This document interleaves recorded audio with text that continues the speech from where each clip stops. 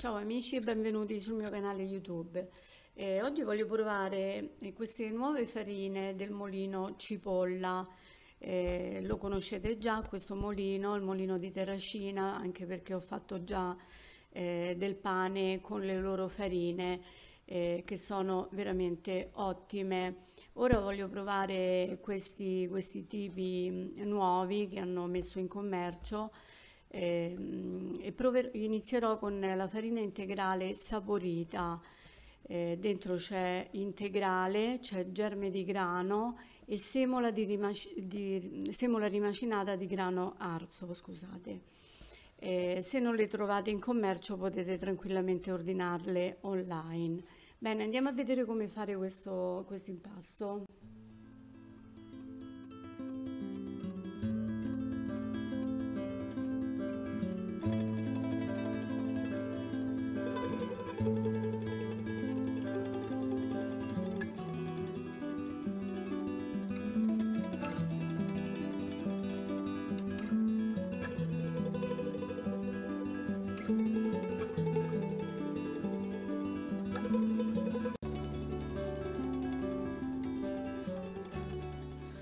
Allora, questa è la mia pasta madre solida che ho rinfrescato più, ormai più di 4 ore fa. Eccola qua. È pronta, ha raddoppiato di volume ed è pronta.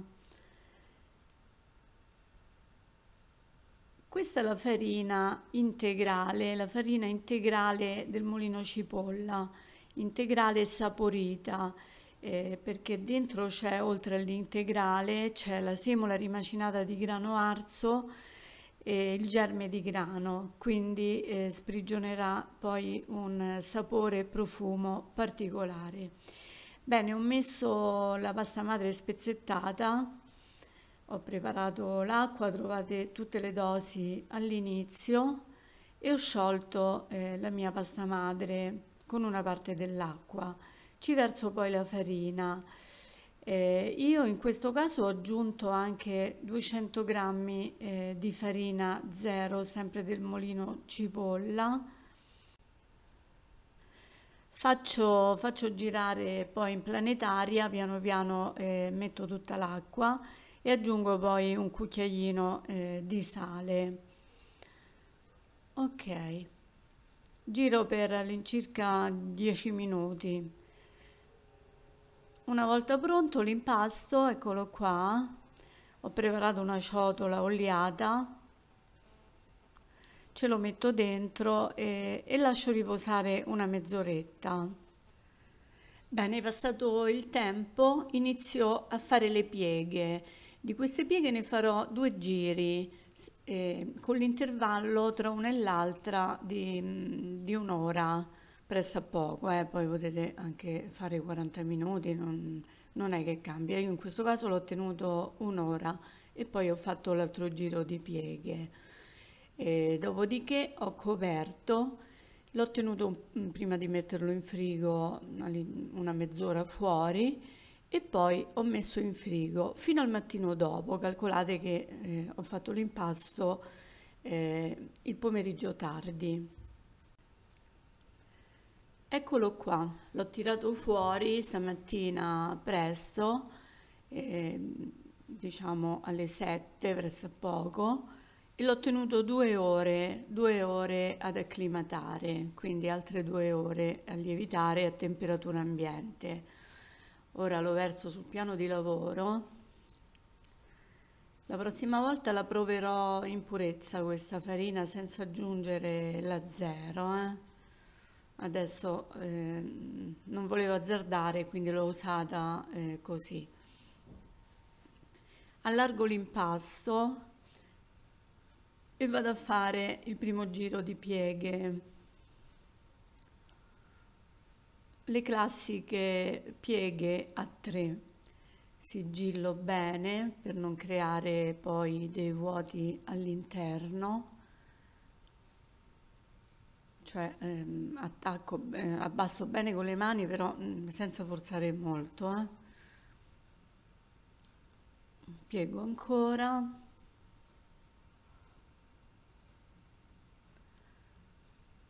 Ok.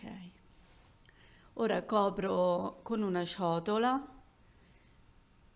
e lascio, lascio almeno mezz'ora, quindi mezz'ora o 40 minuti, va bene lo stesso. Poi si vede l'impasto eh, che inizia ad adagiarsi eh, una volta che riprende eh, la lievitazione. E farò eh, poi il secondo giro, quindi due giri di pieghe. Ho preso diverse farine, diversi tipi di farine eh, al mulino cipolla, eh, come vi ho detto online, le ordinate online. Delle volte vado anche giù perché, scusate, il telefono da, da, qui dal mio paese a Terracina eh, ci vuole presso poco un'oretta, sono 80 km, eh. mi piace anche andare al mulino ogni tanto, però tranquillamente si possono ordinare online. Ho preso la farina ai 10 cereali che mi piace molto, eh, chiara e scura, con integrale, poi c'è, eh, quella alla curcuma. C'è una farina di canapa che non ho mai, mai usato e non so nemmeno come usarla, poi mi studio un pochino la cosa. Quindi il prossimo video magari adesso farò eh, quello alla curcuma anche che mi attira molto. Eh. Bene, qui... Eh, ho finito eh, di fare l'ultimo giro di pieghe. Le pieghe eh, servono eh, a migliorare l'elasticità dell'impasto, a migliorare quindi la maglia glutinica e servono anche a far crescere il pane in altezza, quindi eh, sul sul seco- sulla seconda lievitazione sono eh, necessarie. Questo perché spesso mi fate delle domande sulle pieghe. Ok, ora vado a formare il panetto. Allargo l'impasto, provo a fare um, un altro tipo di formatura che ho visto da un amico che seguo su internet ci provo, eh? altrimenti procedete come meglio credete, arrotolate, piegate, fate la pagnotta.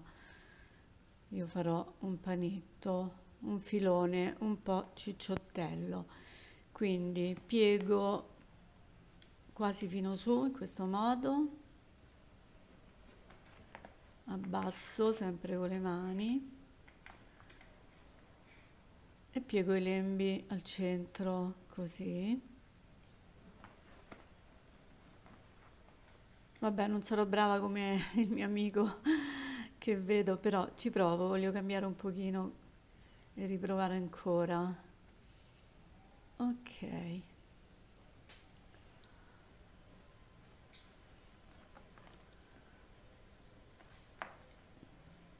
Piego ancora, vedete come si vede bene il germe di grano che è dentro, dentro la farina e anche l'integrale. Eh.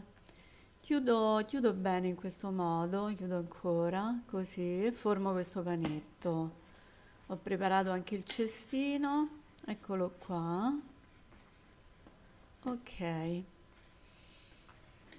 è pronto. Chiudo bene la parte, la parte sotto che poi nel cestino la vado a mettere sopra perché io ribalto poi in area. Eh. Quindi Ora ci sarà bisogno di un'altra lievitazione. Non vi dico i tempi perché dovete valutare d'occhio. Eh, a me ci sono volute all'incirca 4 ore, anche perché la temperatura si è abbassata. Eh?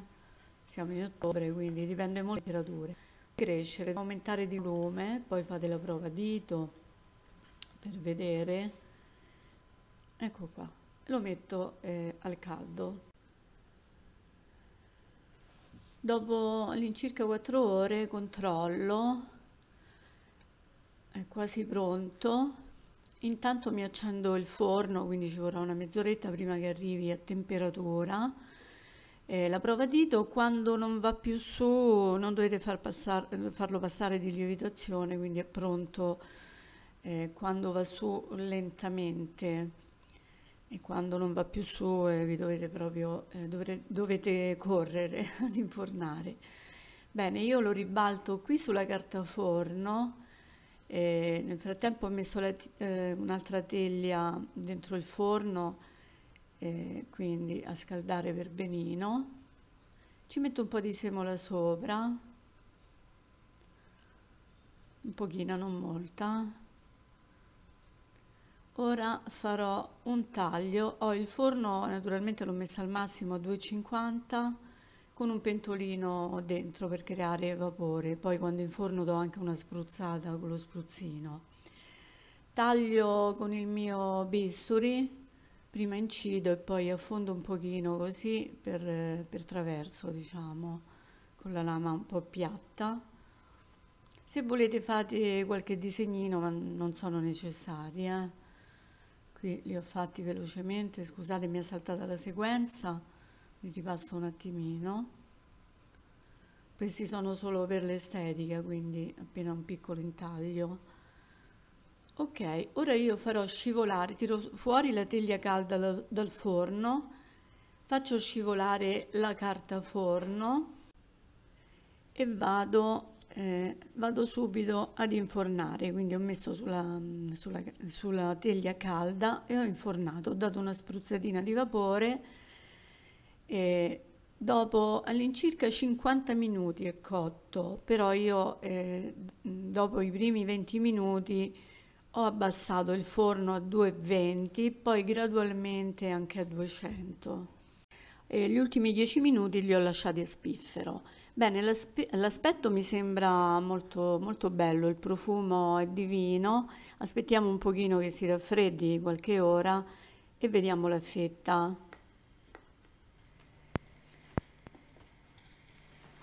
Eccolo qua, proviamo a tagliare.